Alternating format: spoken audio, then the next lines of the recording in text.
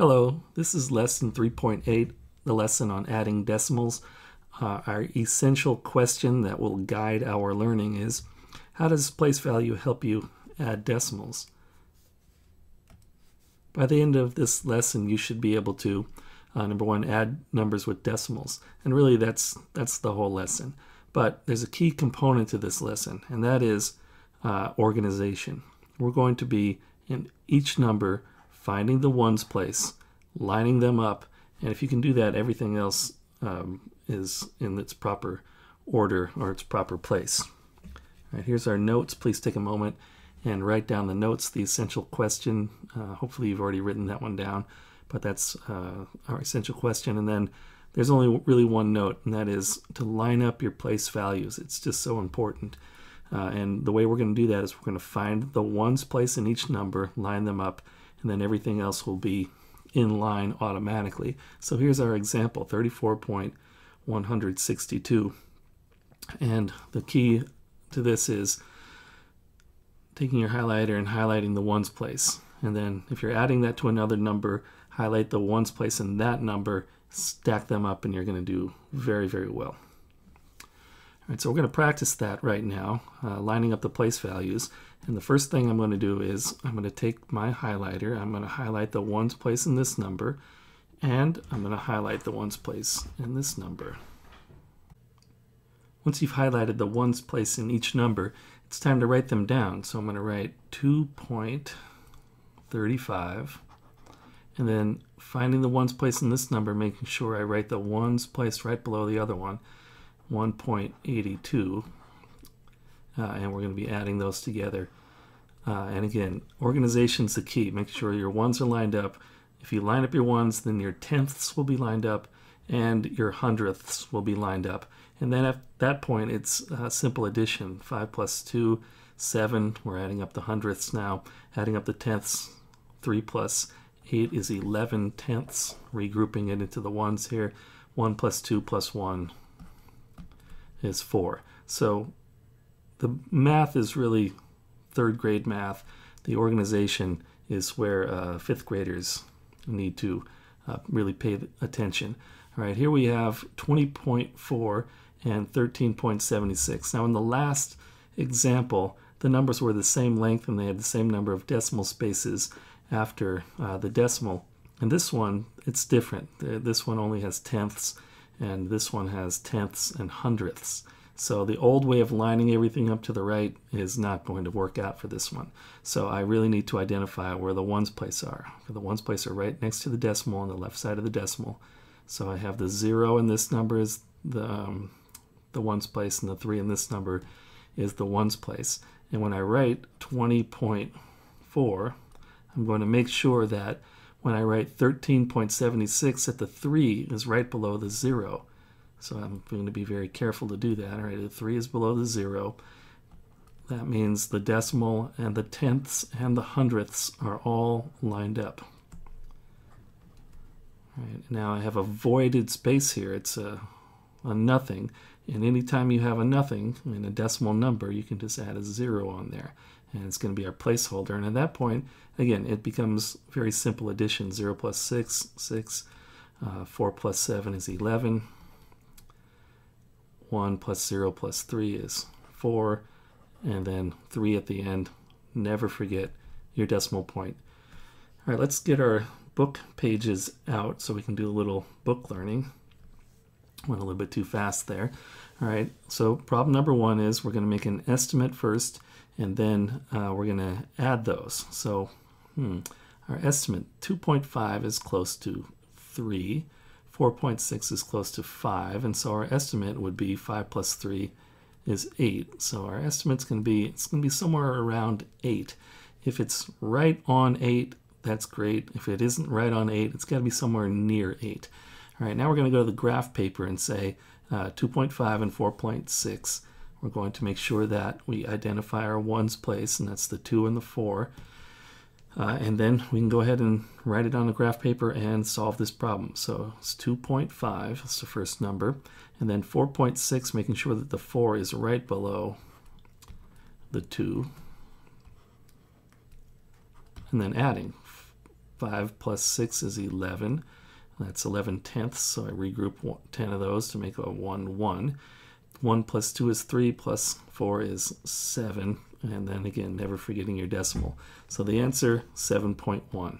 Is it close to 8? It's pretty close to 8. At least it isn't like 71 or something like that. That would be really far from 8. So we're in the right ballpark, and we're going to say, I think we did a, a pretty good job on that one. All right, now, number two, uh, estimating. 8.75, that is very close to 9. 6.43 is closer to 6 than it is to 7. And so uh, we'll add 9 plus 6 together to get 15. So our answer is going to be somewhere around 15. It might be a little bit more, it might be a little bit less. Uh, and we'll find out when we actually do the math now. but at least we have a ballpark uh, figure of where we want to be. Next step, finding the ones place. I have the 8 and the 6 are in the ones place, so when I write the problem on my graph paper, I'm going to make sure that the 8 and the 6 are lined up. 8.75 and then 6.43 is the other number. The 8 and the 6 are lined up perfectly. All right, so then it's just addition. 5 plus 3 is 8. 7 plus 4 is 11.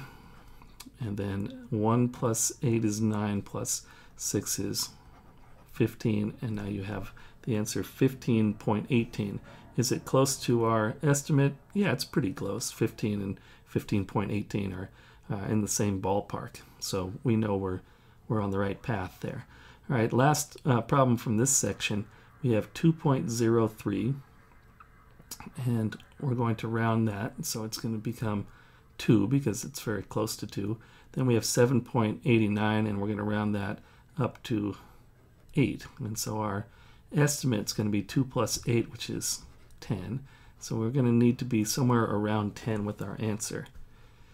All right, again, identifying your ones place. Here's the ones place in that number. Here's the ones place in that number.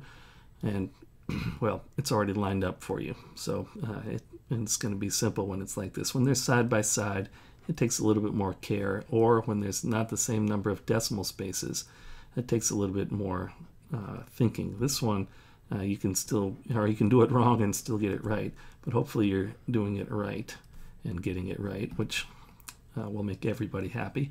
All right, so we lined up our ones and lined up everything else. So it's 9 plus, or 3 plus 9 is 12. And then 1 plus 0 plus 8 is 9. And then 2 plus 7 is 9. So our answer is 9.92, which is uh, very close to 10. Terrific. Let's move on. All right, for these, what I want you to do is I would like you to pause the video, do the work, then restart the video and watch the answers again. All right, so pause the video now and complete these two problems. All right, these problems are going to be solved with the same method that we did before. We're going to estimate first 6.34, that's pretty close to 6. 3.8 is close to 4, and so 6 plus 4 equals 10. That's our estimate. and now, adding them to find out, I'm going to find the ones place. There's the ones place there, and that's the ones place there. So when I line these up, or when I write them down, I'm going to make sure the ones are lined up. So first number is 6.34. Great. And then 3.8, making sure the, the 3 is right below the 6. And now I have an empty space here on the end of a decimal number. You can add a 0 without changing the value at all. All right, once you have it set up, again, it's math is pretty simple here. It's about third grade level addition. 4 plus 0 is 4. 3 plus 8, 11. Then uh, 1 plus 6 is 7, plus 3 is 10. And then not forgetting your decimal point. So our answer, 10.14. Is it close to the estimate? Yeah, it's very, very close to the estimate. All right, the second one, uh, we have 5.63, which is close to 6, and 2.6, which is close to 3. And uh, so our estimate 6 plus 3 would be 9. Now let's go ahead and figure that out. Again, let's find the ones place. There's the ones place there, and there's the ones place there. Uh, and once we identify the ones place, we can start to stack them up and make sure that all the place values are also in line. So writing down the first number, 5.63, then writing the second number with taking good care with having the 2 be below the 5. All right, so right from the, the ones place I know uh, I'm, I'm in line and everything else will be in line also. so we have 5.63 and then 2.6 and if we have uh, an empty space on the end of our decimal number, no problem adding a zero. Right, so once we have it set up, uh, it's pretty simple to add again. 3 plus 0 is 3, 6 plus 6 is 12, and then 1 plus 5 plus 2 is, uh, let's see, 6 plus 2 is 8. So the answer, 823. And of course, uh, you should have been saying, uh, Mr. Ohama, you're wrong because you forgot the decimal point. It's 8.23. All right, so when we move into our uh, student workbooks, the further examples are going to be working on page 137. Uh, so continue the page you're working on and do problems 6 through 11. Bring them to class tomorrow, and we'll um, we'll take care of the, the business from there. All right, uh, good luck.